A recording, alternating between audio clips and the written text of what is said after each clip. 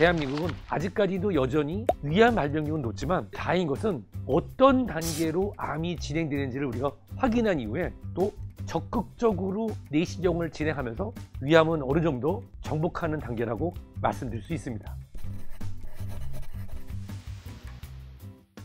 위암을 조기 진단하기 위해서는 40세 이상에서 1, 2년마다 위내시경 받을 것을 권장하고 있죠. 가족력이 있거나 갑자기 체중이 줄거나 또는 지속되는 역류성 식도염 증상이 있는 경우에는 주기적으로 위내시경 검사를 받는 것이 맞습니다. 그렇다고 하면 이 위내시경을 왜 받냐고요? 위내시경을 받다 보면 위암이 어떤 단계인지를 확인할 수가 있습니다. 보통 1단계라고 하는 게 뭐냐면 단순 위염, 표재성 위험하고 미란성 위험이 그 대표적인데요. 점막세포는 헬리코박터 균의 세균 감염이라든지 알코올, 고염식, 탄음식 이런 것들로 통해서 반복적으로 노출되는 경우에 이러한 위험이 발생할 수 있습니다. 1단계 표재성 위험이나 미란수용을 받았다고 하면은 질산염이 많이 함유되어 있는 훈제고기나 포장된 가공육을 좀 피하고 스트레스를 피하고 금주와 절주하는 습관 이게 필수겠죠.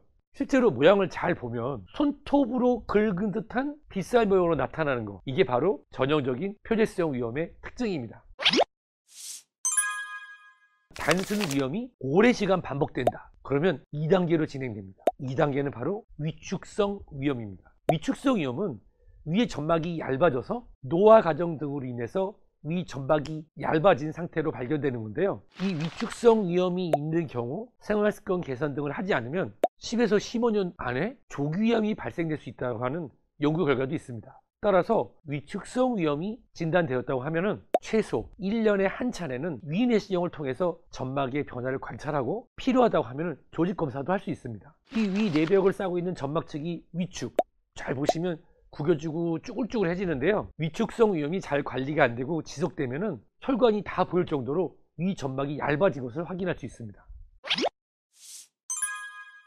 2단계인 위축성 위험이 조절을 안 해서 한 단계 더 발전된다면 3단계 장상피 화생 또 다른 말로는 화생성 위험이라고 합니다. 장상피 화생이라 이게 무슨 뜻일까요? 위장은 아주 책받침을 펼쳐놓은 것처럼 단단하고 널쩍한 이러한 세포들로 되어 있습니다. 왜냐고요? 음식물로부터 위벽을 보호하고 또 위산으로부터도 위벽을 보호하기 위해서 평평한 책받침과 같은 위 점막 조직들이 겹겹이 위 점막을 보호하고 있거든요. 그런데 지속적인 자극으로 일부의 위벽 세포가 손상을 받으면 그 주변이 위산의 분비량이 줄면서 위장 내부의 산성도도 감소합니다. 어 그러면 일부의 위 점막 조직이 마치 12장이나 또는 소장의 장세포처럼 변하는 현상 장, 상피, 화생이 되는 것입니다 위산이 없는 소장이나 대장 점막을 구성하는 장의 상피세포로 변한다고 생각해 볼까요? 그러면 이 부분은 음식물의 공격, 위산의 공격으로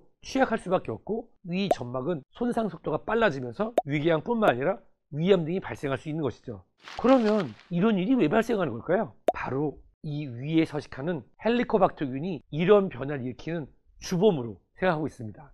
위축성 위험이 있는 분들이 장상피화생을 동반하는 경우가 흔한데요. 그래서 어떤 분들이 어떤 해에는 위내시경을 하면 위축성 위험, 어떤 해에 내시경을 받으면 장상피화생을 확인되는데요. 그러면 위축성 위험과 장상피화생이 동시에 있고 또 내시경을 했는데 헬리코박터균이 나온다. 어때요? 위 점막에는 없는 이 윤기를 갖고 있는 이러한 장상피화생이 있는 경우라고 하면 결국은 위암으로 가는 바로 길목입니다. 연구 결과 장상피화생이 없는 사람보다 장상피암이 있는 사람들이 위암 발생률이 최고 10배나 높은 것으로 알려져 있거든요. 하지만 모두 다 위암으로 가는 것은 아닙니다. 헬리코박터 파이로리 균을 치료하고 생활 습관을 개선하면 3단계까지는 이성 상태로 회복할 수도 있고 또 정기적인 내시경 검사를 받는다고 하면 실제로 조기 발견을 통해서 위암이 발병하더라도 치료가 가능합니다.